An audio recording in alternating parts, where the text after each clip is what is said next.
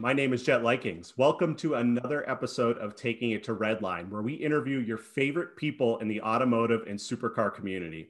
Tonight, we have a special guest for you. This person is a professional realtor with a successful brand, Cars and Castles. They have a YouTube channel with over 70 million views, 900 videos, and 300,000 plus subscribers. They are fluent in Japanese, have run a Japanese company while living in Japan. Folks, this is one of your favorites from the automotive and supercar community. Ladies and gentlemen, Steve Feldman, AKA Steve's POV. Steve, thanks for joining us this evening. How are you doing? Hey, thank you for having me. I'm doing terrific. Uh, it's a beautiful night here in Texas, and uh, it's a pleasure to be with you. Thank you for having me. You're staying healthy during these times? Oh, yeah. Feeling good, working out, drinking my red wine, and uh, doing my exercise and, uh, and having fun, man. And, and thumbs up always. So uh, yeah, we're doing good, man. I, I really, really enjoying life here in Texas. And it looks like you're all settled in. I mean, you even have the Steve's POV logo on the Texas flag right there. So love it. Absolutely. I got settled in, ready for meetings in here. I'm setting up my studio in the garage right now and uh, a lot more fun content on the way. Awesome, man. Well, we're looking forward to it. Um, if you. you don't mind, we'll get right started. Sure. Okay. Absolutely. So we have a couple topics for you tonight. Um, we're going to dive right into Japan. So, um, from what I remember from watching your videos, is you went to college at the University of Wisconsin Madison. You took a Japanese class. Uh, you were somewhat out of place, but you wanted to continue with the language and the culture. So you took an offer from a fellow student to work a chicken farm in Japan. Can you please explain what settling into Japan was like, and when and how the transfer to the car scene happened?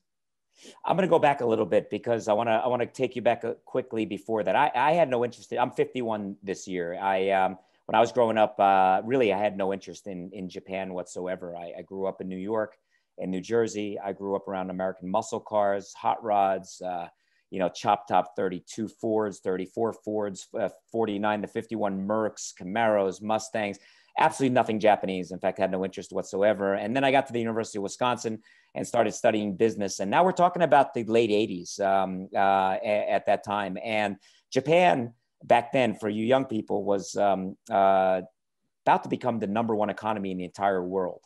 Uh, people were saying uh, Japan will be number one economy in the world. Cars, electronics, everything was in Japan's hands. And it fascinated me. And it, to me, it was something, as I started to study business at Wisconsin, we were learning a lot about the way Japanese did business, the, the group think and the group work ideals and the just in time inventory concepts and some of these other things that are part of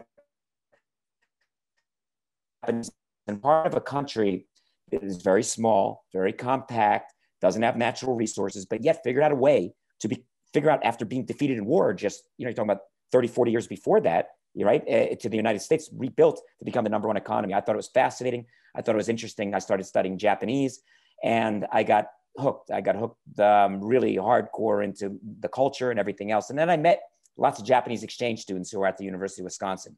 Two of those guys uh, were the sons of, of, the owner of a big chicken farm, Japan's number one chicken farm in Saitama uh, Prefecture. And we became friends and we would go out at night and hang out. And they said, if you'd like, you can go to Japan in the summer and spend um, a, uh, couple of months to three months on the chicken farm. Uh, we won't be there, but you could stay in our room and you could work there. You could make some money, teach some English, do whatever. And I said that was my opportunity to go and to immerse myself in a culture. And I wound up there in the middle of uh, the summer, the hot, balmy, sticky, humid summer in Japan, and uh, in the middle of very rural area with uh, only Japanese people. And for me, that became the key to learning the culture, learning the language, assimilating, learning traditions, learning things that I never would have thought if I probably wasn't in that place that I wound up on a chicken farm. Something I'd never been on a farm before, growing up in New York, uh, born in the Bronx and grew up in New Jersey. We didn't have any chicken farms where I came from. But so I, I wound up in a different work environment. I wound up uh, in a different language, in a different setting, different culture. And um, it really worked for me. I came back to the University of Wisconsin. Then I think I was a junior uh, or senior at that time. Uh, and I felt confident that I could learn the language. I felt confident I could do better at the language than anybody else in the class at that time. Kids who had been to Japan multiple times, and um, I was I was set. That was that was the beginning of my career really. After that three months in Japan on the chicken farm. Hmm. Wow. And uh, hot and balmy, you know, working at a chicken farm uh, does not sound like the place to be, but you made it through it. it, it, it was what it was. You know, I was there. I could have made it miserable and disgusting. I mean, which it was at times in a hot, balmy, sticky, crap filled chicken pen. I mean, we're talking about a million chickens on this farm. This isn't like, you know, a couple hundred, a couple thousand chickens. This was an egg farm with several different farms, you know, as part of the entire conglomerate eh, all in one area of Saitama. And it was nasty. It was sticky. It was smelly. It was gross. We used to go into the cages. One of my jobs was to go into the cages and grab chickens would be two or three in, a cage at, at, that time. Uh, no free roaming chickens on this farm, and um, nothing organic about these days, right? So the chickens would fight, and and there was always a weaker chicken, so they would kind of start. You could tell they were not going to make it. My hmm. job was to go into the cages, pull those weak chickens out, basically grab them by their heads, grab them by their legs, yank real hard, separate their necks from their from their you know spinal cords, I imagine, and throw them in a pile and burn them. And that was uh, and and then clean up all the shit that was all over uh, the place. Yeah. Excuse my language. No um, never did it, but I was that was it was it was an experience. It's something I look back at. I'm so glad I did. I experienced. I worked with all Japanese people.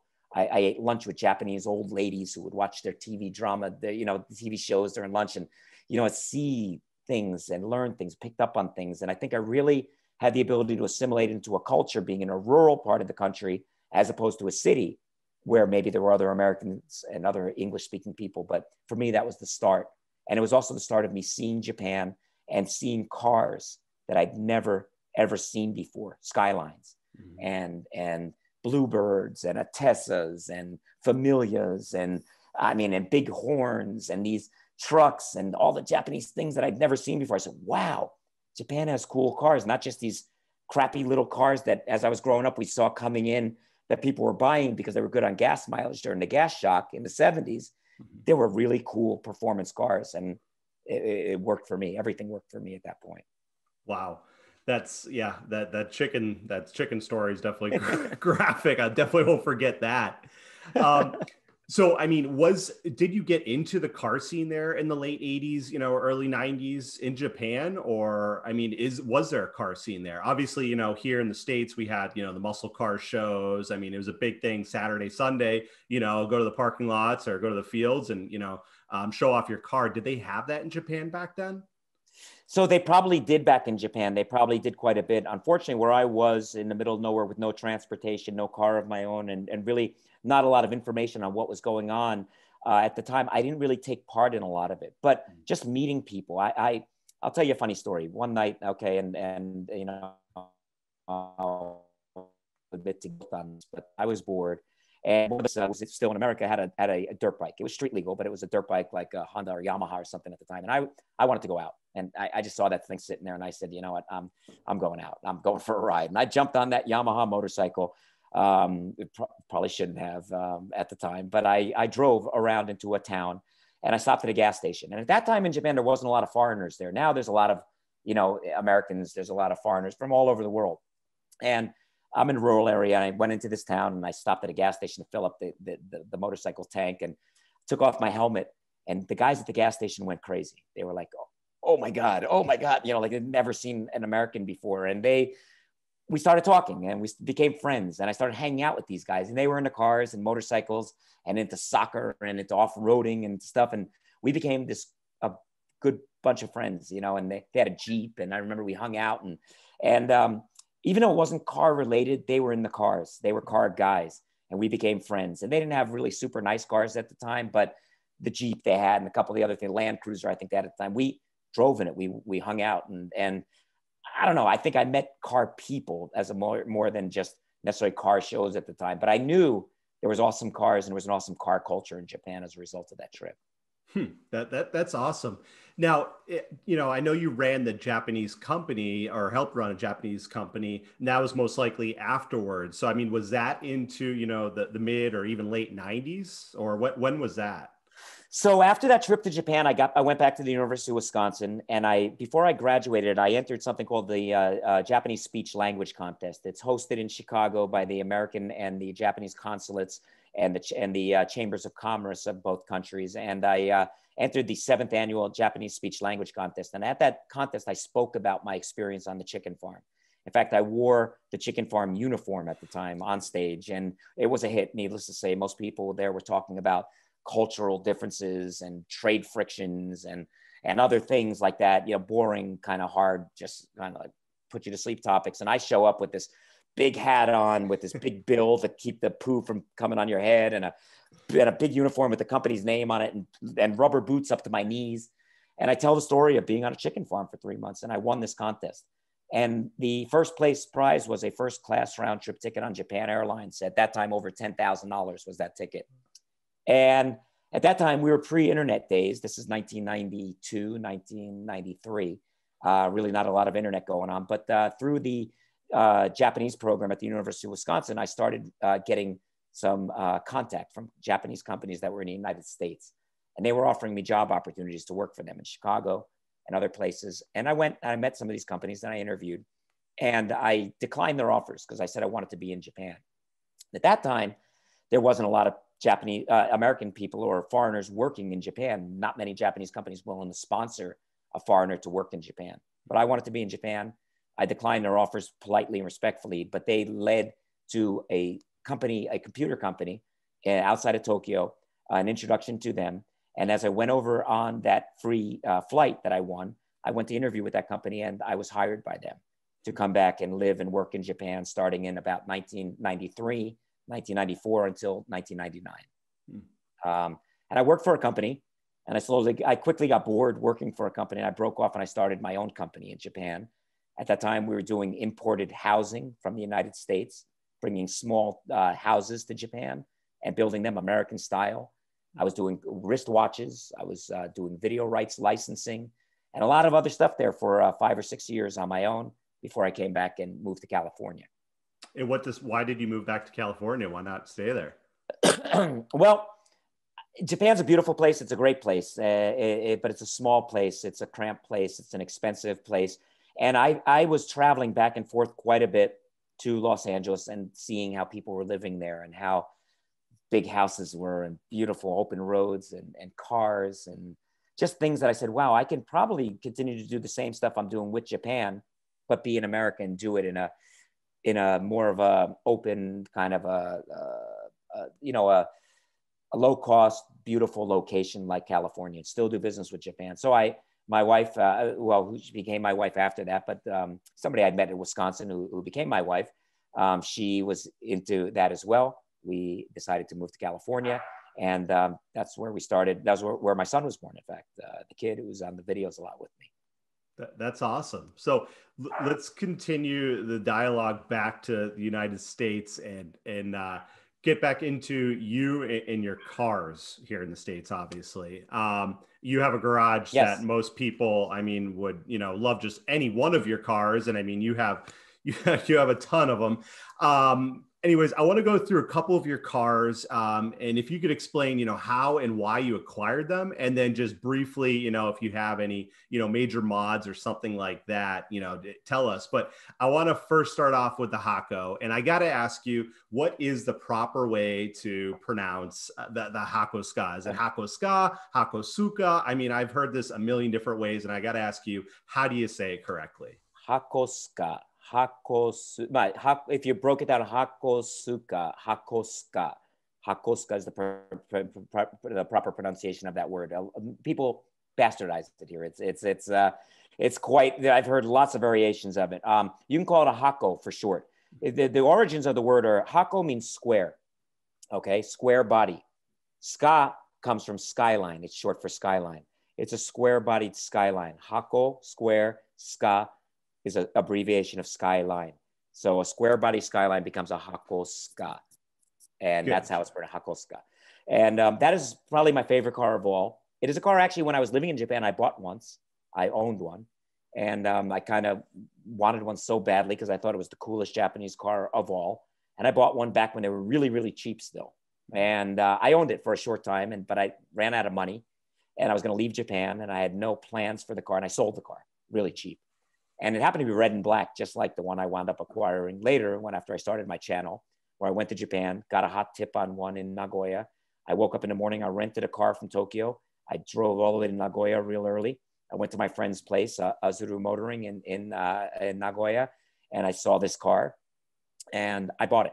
I bought it. And it was uh, red and black, just like the one I had owned, but it was totally wide body, very uh, Bosozoku or Zokusha style, which is this wide, very, very old school kind of, you know, traditional way of customizing cars.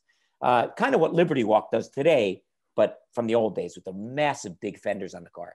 And I bought the car and um, I left it in Japan to do a little bit of body work because I like the real big fenders, but my thought was to go with the semi works fenders, not the full works, which is the huge, huge wide ones. I went with the semi wide ones. And I left it in Japan to do the body work. I, I called up my friends at Liberty Walk. I did a little swapping and trading with Mr. Kato for some parts that were on the car and some parts that I wanted for the car.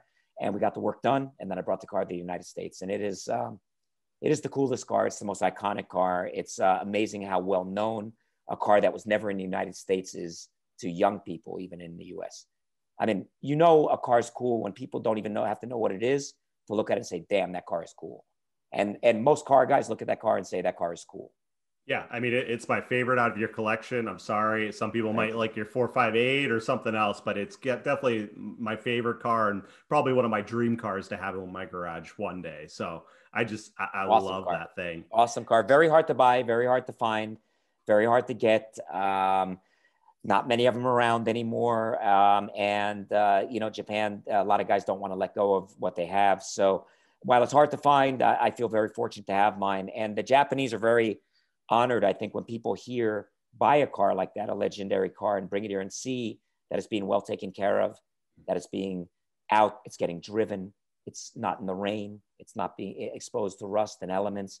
And while many people, it's a hard thing for, for Japanese to chew on that a legendary Japanese legend like that left Japan and may never ever make it back to Japan. Um, you know, and in some ways, listen, going back to muscle cars, people here when a 70 Hemi Cuda went to Japan back in the 90s.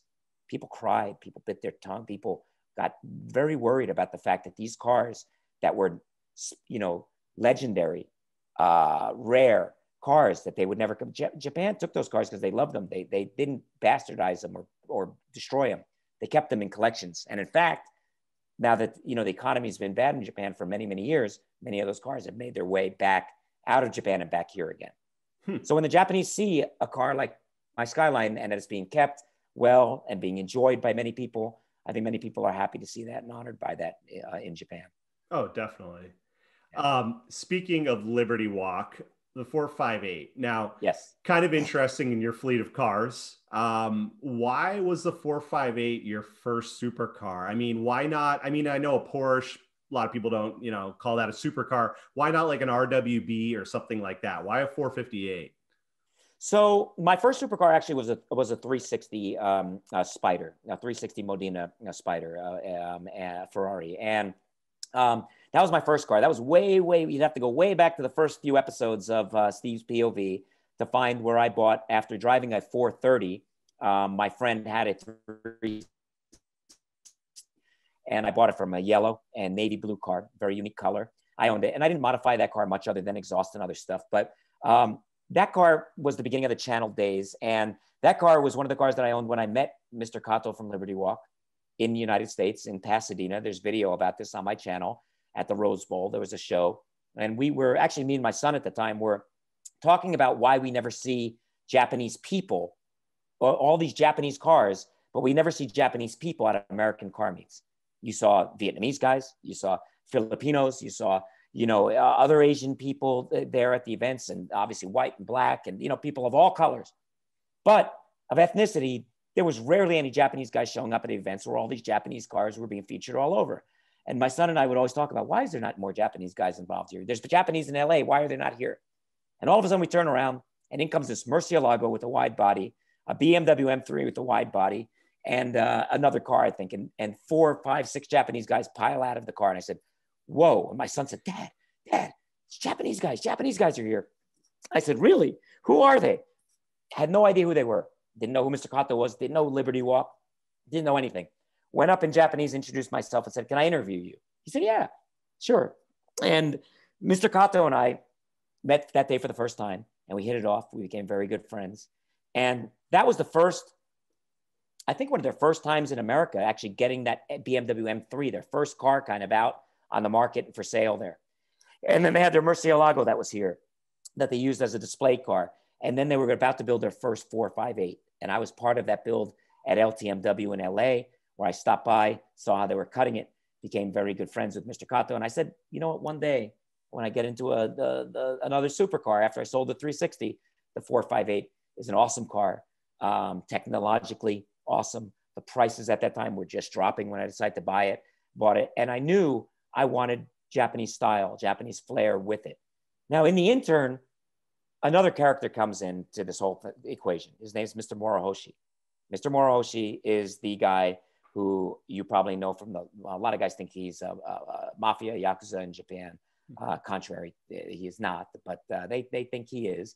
Uh, he drives the flashy Lamborghinis. He's got all the LED lights. If you watch Tokyo Midnight Lambo Run and all the videos, some of my early viral videos, in fact, were about these the Lambo crew in Japan. My Lambo crew, it called the guys with all the flashy cars. And I got to tell you, I never saw anything like that in my life. But I became friends with Mr. Morohoshi and his whole crew. And I became friends with Mr. Kato and his whole crew. And these are different groups, by the way. These are factions. These are not necessarily buddies, mm-hmm. right? They, they, they don't necessarily love each other's styles. But here's Steve, the guy who kind of bridges the two, the gap between the two. And I kind of was influenced by both.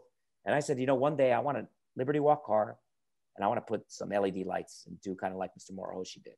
And uh, I, I, I, practiced first on an RX-7 that I had at the time, an FD, put crazy LED lights all over it. It was cool. And I said, you know, when I get in, and and it took a while. People in LA didn't get it. You know, people called me funny names, uh, some words that we probably are not allowed to say uh, or shouldn't say nowadays. But you know, there were some negative comments to, toward it.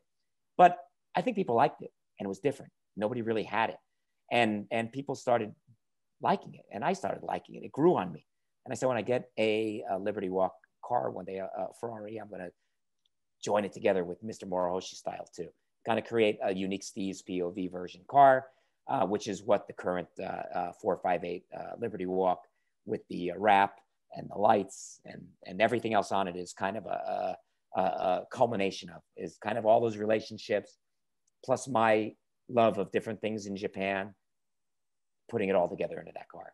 I mean, I love it. It's definitely one of a kind. I love your wrap. I mean, I love the lights too. And you just you don't see that. I mean, everybody's throwing not everybody, but a lot of people are throwing Liberty Walk kits on, you know, the big wings, straight yep. piping them, you name it. But not everybody's doing that whole light thing that, you know, they are over in Japan. And I, I just I absolutely love that car. So thank you. Thank yeah. you very much. I I, uh, I love it too.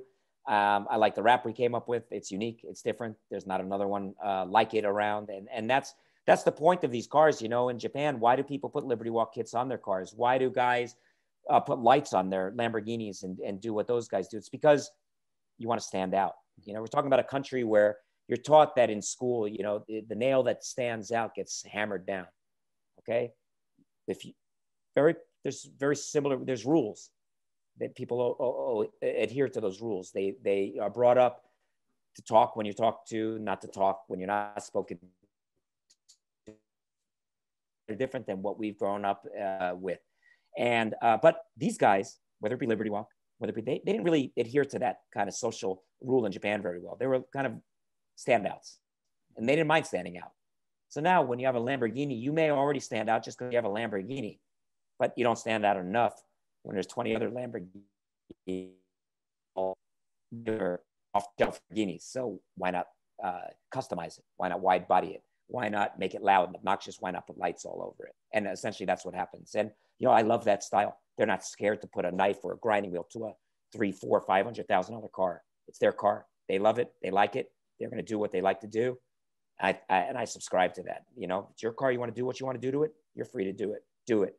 Don't be ashamed. Don't care what other people say. It's your car. Enjoy it. Do your own thing, right? Yeah, do your own thing, man.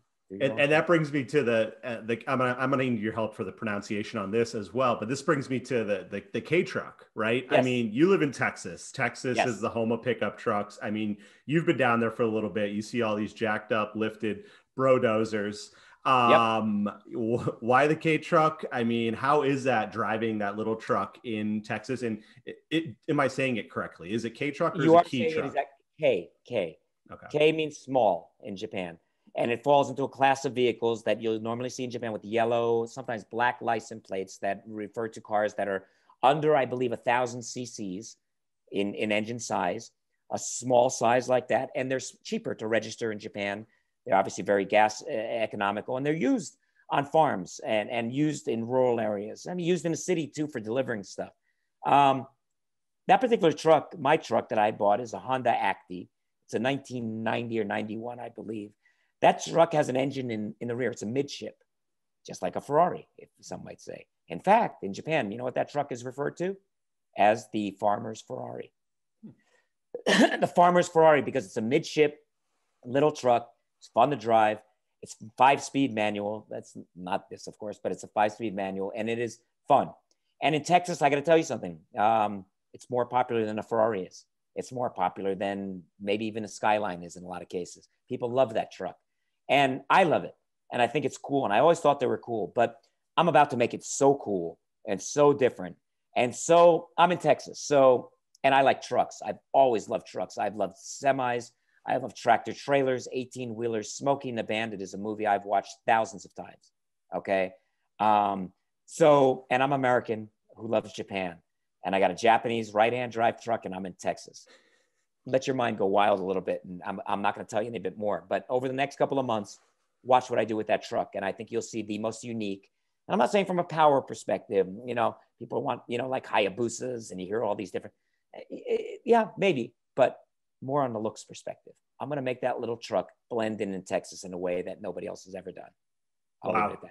Yeah, it's not what I was thinking. Um, I'm sure you saw my post on Instagram. I thought you're going to go like the 13B rotary direction, but it almost sounds like you're going to go possibly lifted with some tires. So I'm I'm looking forward to that. That's that's going to be it, interesting. leave it open, but I'm telling you, it's going to be unique. It's going to be different. I think it'll be um, real popular. The Japanese love the fact that I have a truck like that here. I think going in and parking that little truck next to those big monster pickup trucks, those big semis, I think it's it's cool. I think it's so cool, and you'd be surprised at so many people who are interested in that truck more than any almost any other car that I own people stop and ask about that truck.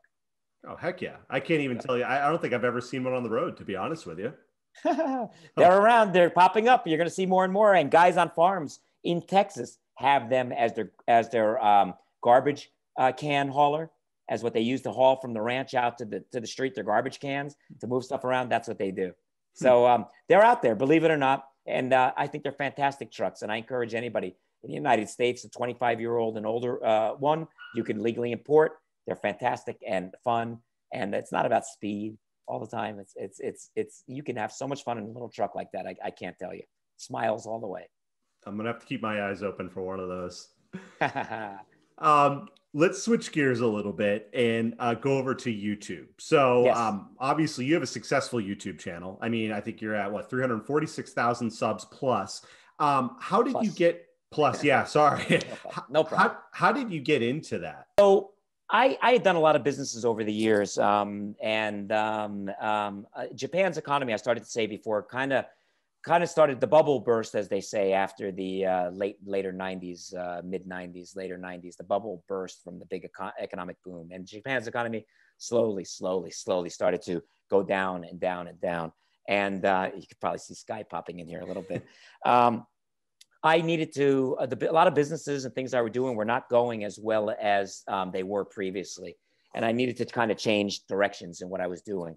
And um, so I was thinking about how do you, how do I get about letting people know that there's this guy who's non-Japanese, who lives in America, who speaks Japanese fluently, who knows cars, who knows business, who can consult and do other stuff regarding to the Japanese market. How do I get out there and, and do that and kind of do it in an interesting way? The time my son was 12 or 13 years old, he was getting into photography. He was already in the cars. And at his birthday, he wanted to get a, um, a, a, DSLR camera. And I told him I would buy him a DSLR ca- camera if he agreed to come to the car shows with me on the weekend. We go out to the shows. I'll grab a mic. He holds the camera, and I start reporting about what car life in the United States was all about. What what what what we do on weekends to enjoy car life in America. And that was episode one. And from there, just kind of took it from there. Let's go out on the weekends, film some cool cars. Let's talk about what we do in America as Americans for cars. Let's do it in Japanese. And at the end of every video, let's say to people, hey, um, you know, if you like the video, if you're interested in discussing any business opportunities, please email me. I put that at the end of every every Japanese video, uh, every video at the time. And people started emailing me. And I started going to Japan and had kind of people to meet and started getting into different collections and started meeting more people. And next thing I know, I started getting people that would, you know, were asking me to help them sell cars or buy cars or auction cars or connect them with some companies or find them some business. And it started leading to a lot of new businesses for me, opportunities. I never started YouTube thinking that I would be earning money from YouTube. I kind of looked at it as a free way to kind of do some fun stuff, promote myself, and get people to come back to me and hopefully create new business opportunities. Um, and that it did. It did do that. And then over time, as the as the video started to monetize, and as I started gaining enough subscribers and you know hit whatever threshold, I started earning money from the videos. And eventually, that started growing and growing and growing. And thankfully, it's still growing. Thankfully, and it also led to people asking me about real estate stuff because I became a realtor during that time as well, and did that. And and I thought if I if I could sell Steve to people, meaning this is who I am, this is what I like. You don't, yeah, I get it. Not everybody's going to like me. Not everybody's going to like the Japanese thing and every, but this is who I am. This is what I do. I'm a realtor and a YouTuber, and I'm not going to BS you. I'm not going to lie to you. I'm going to give you straight up talk and help you negotiate a great deal for a house. You're, you know, watch me on YouTube. You don't have to interview me. You, you could see who I am. I'm not going to be anybody different. I promise off of camera than I am on camera. This is me. Um, let's work together. And you know, in the meantime, now it's fun to do videos, build do stuff with my son together. We make money from the videos, obviously from from from YouTube monetization. I have people who come and sponsor the channel and sponsor our builds. And then if I sell a few houses in between, I'm happy too. And and that's be, kind of become the the the start to kind of current and, and how I've approached YouTube. Uh, yeah, that, I mean that's an awesome story, especially with the father son, the bonding. You know, you started off with it and you continued too, because a lot of people yes. enter business and you end up hating each other afterwards. Obviously, your family, but that that's really cool. And then to see your successful, you know, uh, you know, realtor position as well grow throughout that, that's really cool. Now, if we just fast forward, um, you know, obviously you've collaborated with some other, you know. YouTube um, content creators like Daily Driven Exotics. How did you ever run yes. into them? So uh, Daily Driven Exotics, uh, uh, um, basically Damon started his channel about the same time, uh, maybe a little bit before I did. I didn't know Damon at all. I had seen that one uh, Lamborghini's uh,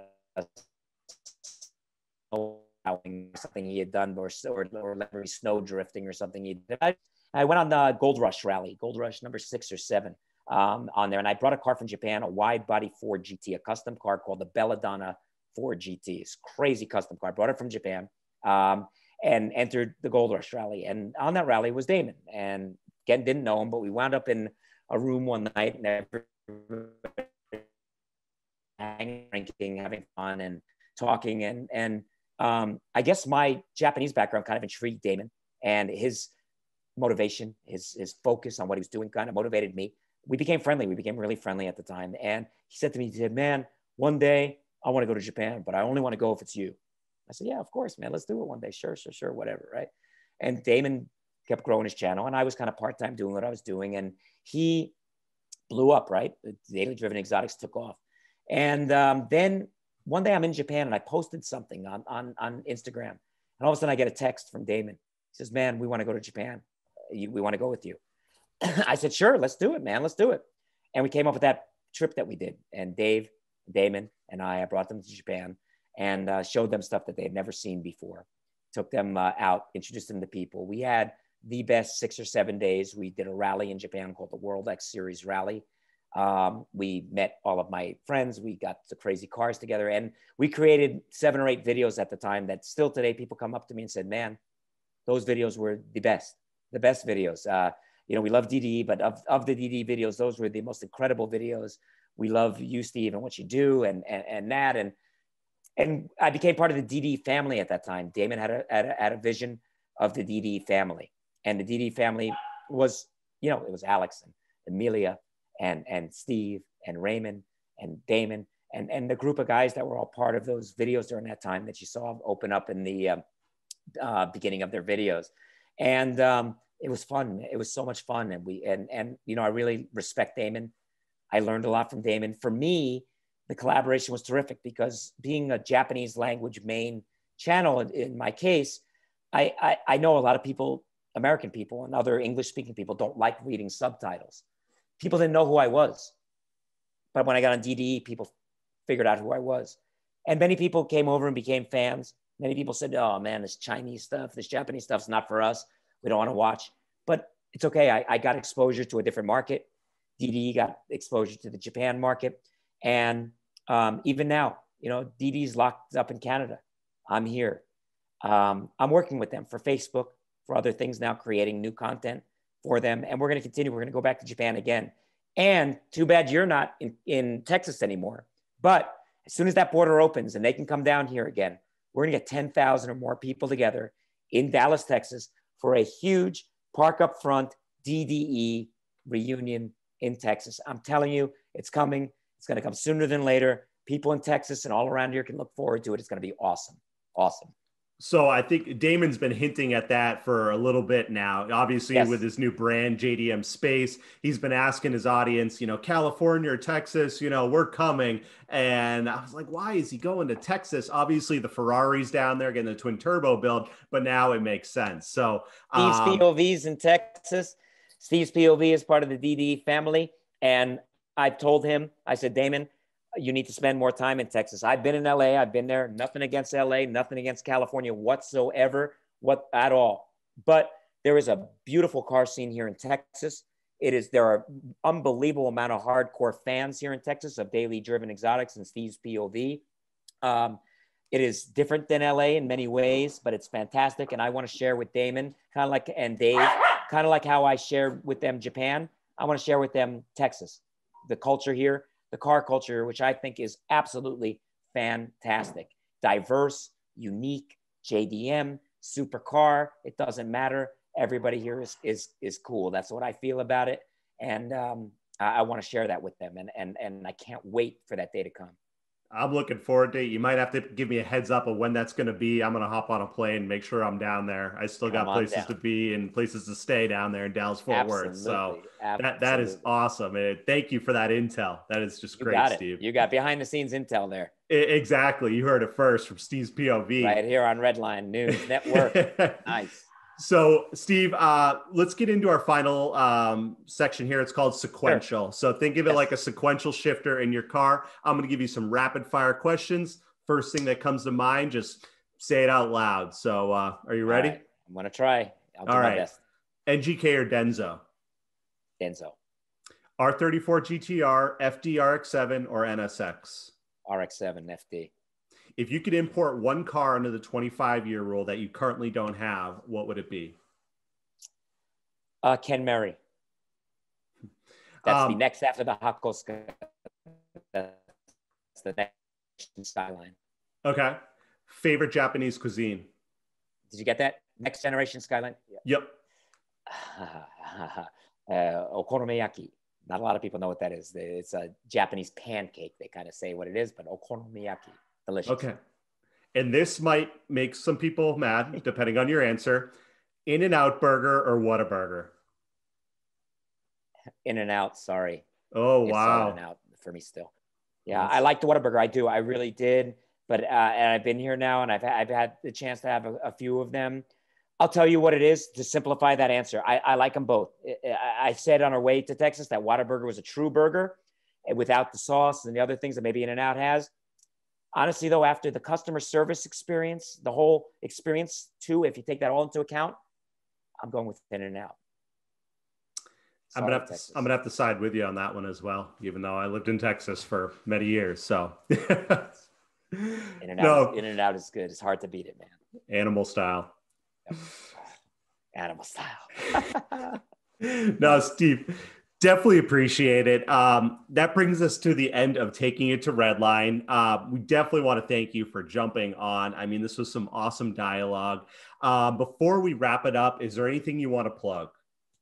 I do, real quick. I mean, I, have mentioned it throughout our, our time today, but obviously, guys uh, uh and girls, uh, please uh, stop by stevespov.com. Every video has English subtitles on it. I know I speak Japanese. I know it's not comfortable maybe for some people to watch, but I take a lot of time to put proper English subtitles onto every video. There is English in the videos too with Japanese subtitles, but feel uh, keep in mind every video has English subtitles. Just turn them on on, on the YouTube player. Uh, that's stevespov.com. Also, if you're in Texas, if you're thinking about moving to Texas, the Dallas Fort Worth area, or anywhere in the state for that matter, I uh, am a realtor. I'm still licensed in California at this moment in time, but I'm working on my uh, Texas license. I can help you here. Please feel free to reach out. My Instagram for that is Cars and Castles. Everything else is Steve's POV. Um, I'm honored that you asked me to be on. Um, I, I, hope the Redline News Network uh, grows and continues to be successful. Um, and this is a fun interview. I want to thank you for it. No, we definitely appreciate those kind words, Steve. We'll drop uh, all your contact information in the description box below. Um, so, again, I mean, we can't say thank you enough. Um, let's definitely stay in touch. Absolutely. I look forward to it. I wish you luck. Sorry you uh, moved out of Texas, but uh, back up to the East Coast. But please come back. Let's hang out again. Uh, Saturday mornings in Dallas, Texas are fantastic, guys. Um, um, I, am really enjoying it here. People have been so welcoming to me. I really feel part of Texas now. I really feel honored to be here. I feel honored every time I go to an event and have people come up to me and say hi um, and, and, watch my content. Honestly, it really, it, it, it really rings true. It's hard to uh, express really how, how, how, what a good feeling that is. So thank you, Texas. Thank you everybody for watching uh, this interview. And uh, thank you uh, for interviewing me. And, and I hope to uh, meet you in person one day. And take you up on that offer, Steve. So th- thanks awesome. again. Um, to the Redline citizens, as a reminder, uh, new episodes of Redline News, where we where we recap the week in automotive and supercar content, premieres every Friday morning. Don't miss out by clicking subscribe. Um, also, follow us on Instagram to stay up to date on new episodes of Taking It to Redline. Uh, we definitely leave hints on who our next guest will be, so make sure you follow us. Um, until next time, let's keep it at Redline.